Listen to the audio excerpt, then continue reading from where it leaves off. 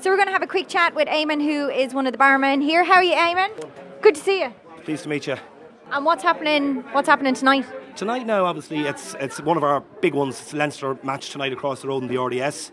The place normally rocks. Um, expecting a big crowd of people, Leinster supporters. Uh, again, with the same as your work crowd, it's a lot of the same faces, a lot of the same guys, still loyal to the Horse-Show House. Come in before the match, have their few pints, uh, enjoy all that, and then hoping to get them back later on for a few more.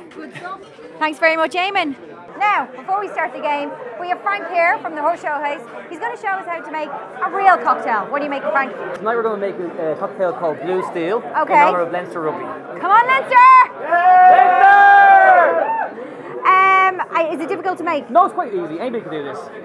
It's very difficult to make. The girls are going to have a very hard time doing this. How do you feel about making this cocktail? I've never made a cocktail before. Have you ever made a cocktail before? If Frank can do it, I can do it. Oh, that's fight and talk. That is fight and talk.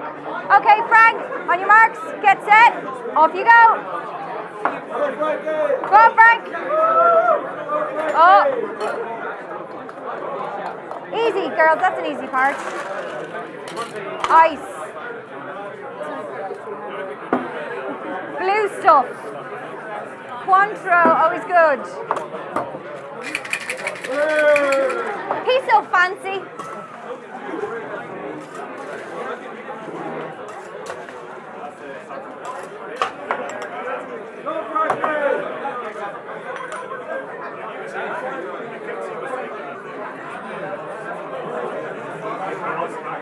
I think that deserves a round of applause.